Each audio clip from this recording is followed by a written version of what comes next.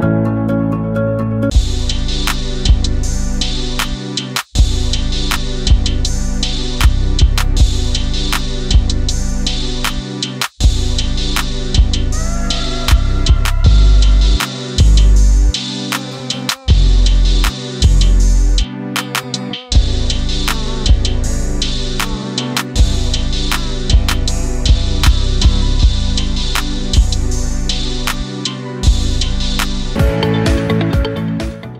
everyone, welcome back to NIOS. I am Anjali Malviya, your bio expert. तो yes children हमारा जो chapter है cell right right? तो उसमें हमने देखा था कि किस तरह से जो सेल है एक जान फूकता है एक लाइफ में राइट right? एक लिविंग ऑर्गेनिज्म में किस तरह से सेल का मेजर फ़ंक्शन है तो so, हमने देखा था सेल थ्योरीज के बारे में हमने पढ़ा था who discovered it right Robert Hooke because ये बहुत इंपॉर्टेंट कुछ नाम है ध्यान रखना ठीक है फिर फिर हमने देखा था about uh, you know the types of cell prokaryotic eukaryotic then animal cell plant cell right so फिर उसके बाद हम आए थे सेल के पार्ट्स के बारे में जो कि एक सेल जो है वो किन से बना है। ठीक है? तो कुछ मेजर पार्ट्स हैं जिनको हम सेल ऑर्गनल भी बोलते हैं और हम क्या बोलते हैं? सेल कंपोनेंट बोलते हैं सेल पार्ट्स बोलते हैं सब एक ही हैं ठीक है? सो लास्ट लेक्चर्स में हमने न्यूक्लियस पढ़ा प्लाज्मा मेम्ब्रेन पढ़ा और क्या पढ़ा? राइबोसोम्स पढ़ा रही है? यस ये तीन पढ़ा ना? फिर आज हम उसके आगे कंटिन्यू करेंगे। हमारा जो टॉपिक है, वो सेल पार्ट ही है। उसके आगे का पढ़ेंगे। तो आज हम पढ़ेंगे another important topic yet very simple ठीक है? सो so, आज का टॉपिक है हमारा एंडो मेम्ब्रेन सिस्टम तो इसमें हम सारा ये सब पढ़ लेंगे क्योंकि न्यूक्लियस हम ऑलरेडी पढ़ चुके हैं। ठीक है तो हम गोल्जी पैरेटिस के बारे में पढ़ेंगे और एंडोप्लाज्मिक रेक्टिकुलम के बारे में पढ़ेंगे। ठीक है? आई होप इंटरेस्ट आ रहा है आपको मज़ा आ रहा है ये सब पढ़ने में। बहुत ईजी है ये बहुत ज़्यादा कुछ नहीं है। टेक अ चिलपिल ठीक है मैंने भी इतना ही पढ़ा था and I scored ninety percent अब यस सो so, बस अच्छे से समझ के पढ़ो ठीक है? एंड जो क्वेश्चन में आए अगर आपसे पूछा न्यूक्लियस के बारे में तो आप ये नहीं लिखोगे ना कि प्रोटीन सिंथेसिस होता है वहाँ पे प्रोटेक्ट करते हैं ये तो नहीं लिखोगे जो उनका मेजर फ़ंक्शन है एग्जैक्ट फ़ंक्शन आप वही लिखोगे ना जीन और डीएनए वीने वाला। सो मेक श्योर ये ध्यान रखना प्लीज़ चलो अब हम पढ़ते हैं अबाउट दीज थिंग्स चलो तो ये देखते हैं ये क्या है? So series of intercellular membranes that uh, compartmentalized the cell yes the uh, restrict enzymatic uh, reaction to specific compartment within the cell and it consists of nuclear envelope जो हमने अभी पढ़ लिया है already yes तो जो हमने already पढ़ लिया है न्यूक्लियस और न्यूक्लियर एनवेलप के बारे में then membranes of endoplasmic reticulum yes तो आज हमें ये पढ़ना है ठीक है और फिर हमें पढ़ना है गोल्जी अपैरेटस के बारे में एंड देन बाद में हम ये ये सब पढ़ेंगे ओके चलो। सो so, ये दोनों चीज़ें आज हमें पढ़नी है इस चैप्टर में। तो एंडोप्लाज्मिक रेक्टिकुलम चलो ये देखते हैं अगेन मेजर क्या है इसमें? इंपॉर्टेंट इनका फ़ंक्शन होता है ठीक है? हर एक सेल ऑर्गन में इनफैक्ट चाहे वो कोई भी हो चाहे कोई भी पार्ट हो सेल का उसमें सबसे मेजर जो सबसे इंपॉर्टेंट होगा वो क्या होगा? आपका जो पार्ट हैं आपके सेल के उनमें क्या होगा? फ़ंक्शन ऑफ़ द सेल और अगर उसके कुछ टाइप्स हैं तो वो भी इंपॉर्टेंट हैं। हम्म, तो यही दो चीज़ें हैं। चलो। देन आता है आपका एंडोप्लाज्मिक रेक्टिकुलम एंडोप्लाज्मिक रेक्टिकुलम ये सारे नाम प्लीज़ याद कर लेना ध्यान में रखना ठीक है? अब ये क्या होता है? It's a system of membrane channels and saccules it's a flatten vesicle continuous with the outer membrane of the nuclear envelope yes तो हमने देखा था कि इस तरह से आपका न्यूक्लियर न्यूक्लियस था। इस तरह से आपका न्यूक्लियस था। और ये आपका न्यूक्लियर एनवेलप था। और यहीं पे आपका अटैच था कुछ इस तरह से। एंडोप्लाज्मिक रेक्टिकुलम है ना? Right right? और अगर इसमें राइबोजोम होगा तो इसको हम रफ वाला बोलेंगे, रफ एंडोप्लाज्मिक अगर यहाँ पे राइबोजोम इस तरह से प्रेजेंट होगा। इसीलिए इसको रफ बोलेंगे, और अगर प्रेजेंट नहीं होगा तो इसीलिए इसको स्मूथ एंडोप्लाज्मिक रेक्टिकुलम हम बोलेंगे। ठीक है?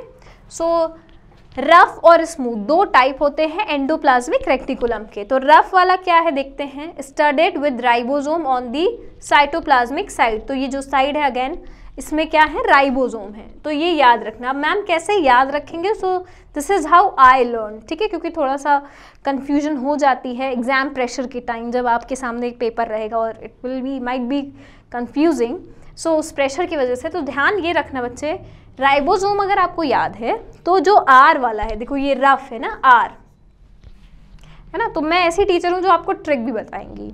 यस टू इन वन चलो तो ये जो रफ है आर है ना तो यहाँ से ध्यान रखना, जो आर वाला पोर्शन होगा, उसमें होगा राइबोसोम ठीक है राइबोसोम्स देखो आर आर है ना आर वाले में आर ही रहेगा. वेर एज स्मूथ वाला तो एस है तो उसमें भाई आर नहीं हो सकता, है ना? तो जो आर वाला है, उसी के साथ आर चलेगा. मतलब रफ वाले के साथ ही राइबोजोम चलेगा. Okay yes it it actually works this is how I learn and how I scored marks okay it actually works तो ध्यान रखना इस चीज़ को। चलो, फिर यहाँ पे क्या होता है? होता है सिंथेसिस ऑफ़ प्रोटीन और modifies and processes protein yes जो बाकी और चीज़ें हैं कि जैसे प्रोटीन को अगर हम शुगर में मिलाएँगे प्रो शुगर को अगर हम प्रोटीन में ऐड करेंगे तो वो बन जाएगा ग्लाइकोप्रोटीन तो हमें ग्लाइकोप्रोटीन मिल जाएगा ओके देन स्मूद वाले की बात करें तो ये स्मूद है। स्मूथ है मैम तो इसमें राइबोसोम नहीं होगा। है ना? तो स्मूथ का मतलब कि देखो, ये कुछ इस तरह का इसका स्ट्रक्चर रहेगा।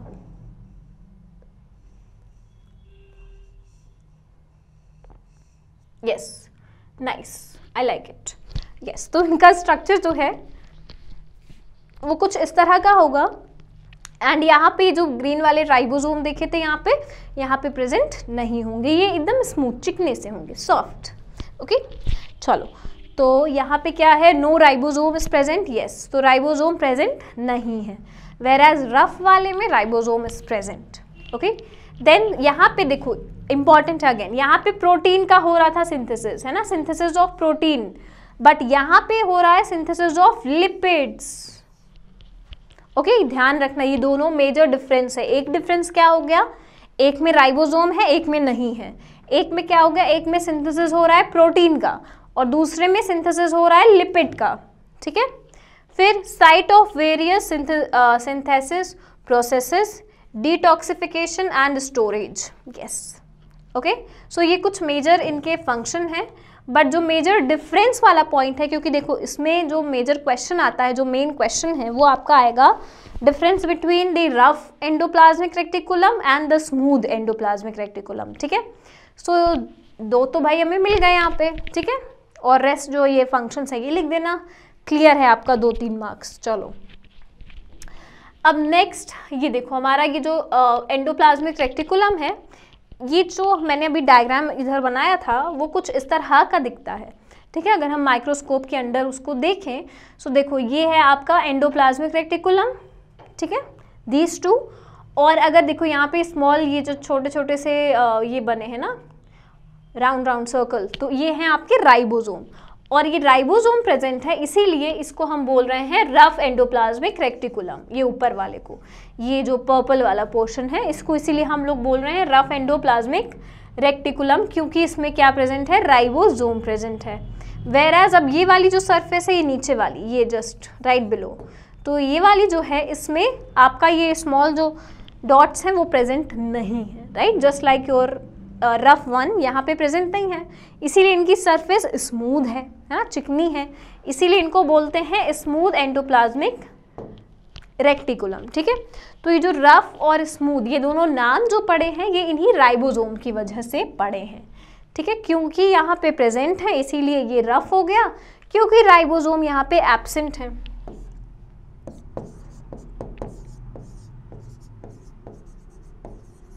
राइबोसोम्स आर एबसेंट ठीक है in the smooth endoplasmic reticulum और ये जो रफ वाला है, यहाँ पे क्या हो रहा है? प्रोटीन का सिंथेसिस हो रहा है। क्लियर है? प्रोटीन का हो रहा है वेर एज स्मूथ वाले में क्या हो रहा है?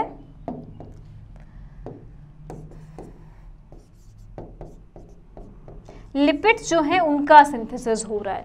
ठीक है? क्लियर है?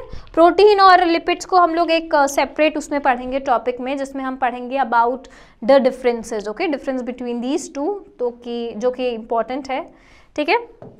सो ये दो चीज़ें हैं जो कि आपको इनमें ध्यान रखना है। राइबोसोम एक में है, एक में नहीं है। एक में प्रोटीन सिंथेसिस हो रहा है, एक में लिपिड सिंथेसिस हो रहा है ओके चलो। अब नेक्स्ट हमारा है गोल्जी अपैरेटस ठीक है? गोल्जी अपैरेटस तो ये जो गोल्जी है, इसका एज सच कोई मीनिंग नहीं है कि, क्योंकि देखो सेल मेम्ब्रेन या फिर आपका जो राइबोसोम ये कुछ सिमिलर हो जाता है, ठीक है? बट ये वाले जो हैं गोल्जी अपैरेटस तो ये गोल्जी जो थे, वो एक साइंटिस्ट थे जिन्होंने इसको डिस्कवर किया था, ठीक है? क्योंकि सेल के इतने सारे पार्ट्स हैं, है ना? सेल के इतने सारे पार्ट्स हैं तो एक सिंगल कोई पर्सन तो कर नहीं सकता, क्योंकि सेल को डिस्कवर किया रॉबर्ट हुक ने। है ना? बट उनके जो इतने सारे पार्ट्स हैं डिफरेंट डिफरेंट तो इसको दूसरे लोगों ने डिस्कवर किया। जैसे माइटोकॉन्ड्रिया को दूसरे ने किया देन क्लोरोप्लास्ट को दूसरे ने क्लोरोफिल को दूसरे ने देन दीज गॉल्जी अपैरेटस को दूसरे ने लाइक दैट वे ठीक है? चलो। Then Golgi apparatus it consist of a flattened curved saccules ठीक है? कुछ इनका ऐसा शेप है somewhat then resembles stack of hollow pancake okay तो जो पैनकेक जैसे हॉलो बीच में छेद जैसा रहता है उसमें तो यस ये देखो। कुछ इस तरह से गोल्जी अपैरेटस आपके होते हैं, एक हॉलो सा शेप इनका रहता है okay then modifies protein and lipid देखो, इसीलिए ये जो है, हम इसको इसमें इंक्लूड कर रहे हैं। एंडोप्लाज्मिक के तुरंत बाद पढ़ रहे हैं राइट राइबोसोम पढ़ा, फिर एंडोप्लाज्मिक पढ़ा और अब गोल्जी पढ़ रहे हैं। क्योंकि इनका काम क्या है कि जो गोल्जी जो आपका एंडोप्लाज्मिक रेक्टिकुलम है, चाहे वो स्मूथ हो, चाहे वो रफ हो राइट प्रोटीन चाहे सिंथेसिस करे चाहे लिपिड सिंथेसिस करे तो इनका काम आगे वाला है ठीक है? इनका काम है they actually modifies these two things ठीक है? They receive the vesicles from the endoplasmic reticulum from the cis अब देखो इनका दो फ़ेज़ है सिस और ट्रांस ठीक है? कैसा उनका यस uh, yes, उनका जो डायरेक्शन है देखो ये वाला जैसे ये आपका ये है ट्रांसफेज जो ये वाला पोर्शन है, इसको हम ट्रांसफेज बोलते हैं। ओके वेर एज ये वाला जो पोर्शन है, इसको हम लोग सिस फेस बोलते हैं, आगे पीछे वाला जो फेस है, इसीलिए सिस और ट्रांस ठीक है?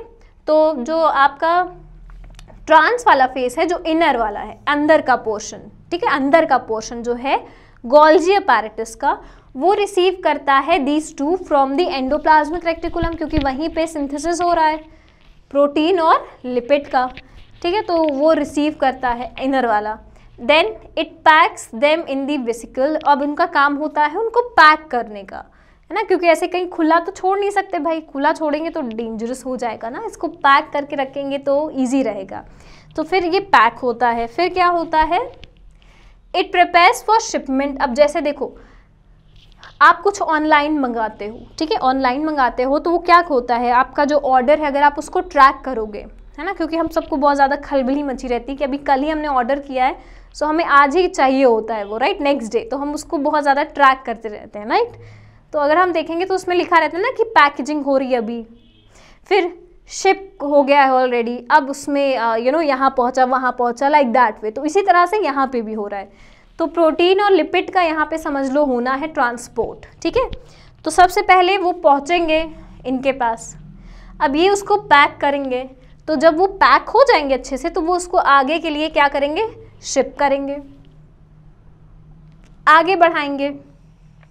So they prepare for the shipment and packages them in the vesicle from the trans अब जो आउटर वाला फेस है उसका गोल्जी अपैरेटस का, उसको हम लोग ट्रांस फेस बोलते हैं, ठीक है?